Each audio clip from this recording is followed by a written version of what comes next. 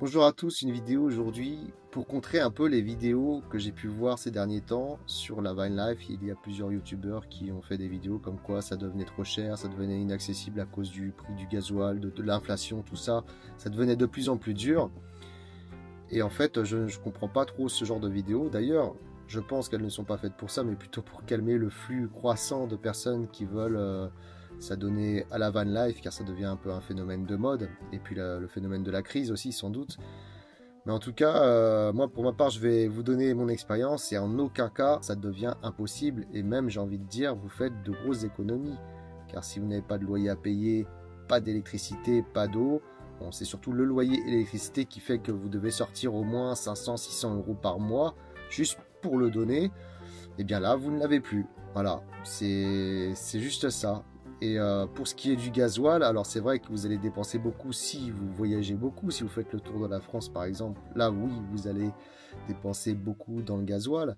Mais si comme moi, par exemple, vous travaillez, vous provenez une mission à droite, à gauche en France, bien vous vous déplacez. Mais une fois que vous êtes sur votre site de travail, bah, vous trouvez un endroit où vous mettre à côté de votre travail. Là, par exemple, je dois faire même pas deux minutes. Mon véhicule n'a pas le temps de chauffer que je suis sur mon site. Euh, je suis posé vraiment juste à côté. Des fois, je peux même travailler, rester sur le site de mon travail, car c'est souvent en pleine nature, et euh, où là, j'ai même plus besoin de démarrer euh, le moteur de mon véhicule. Donc, c'est quand même un avantage énorme.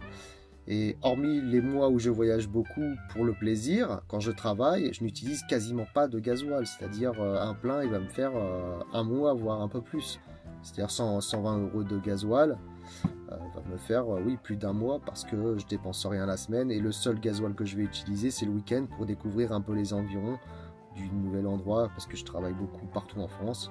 Donc pour découvrir en fait euh, la, région et trouver de nouveaux spots. Mais je pourrais même m'en passer et dépenser bien moins d'un plein au mois.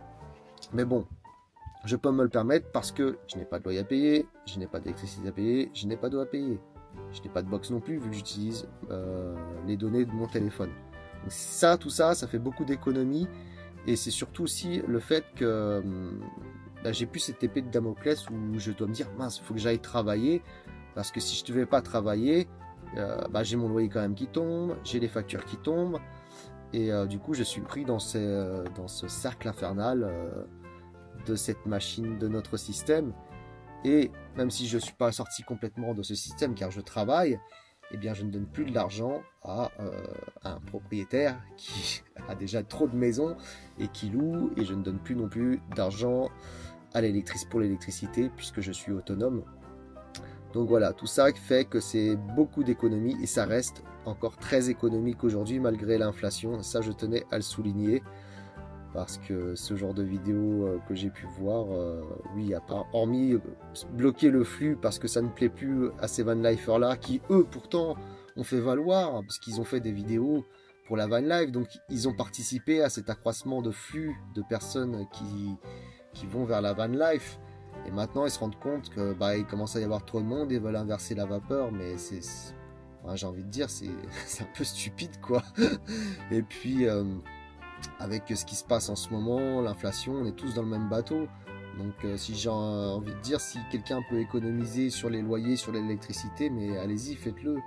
Et en plus, euh, il y a moyen de vivre de, bons moments, malgré que je vois que ça se durcit de plus en plus, parce que oui, il y a de plus en plus de monde.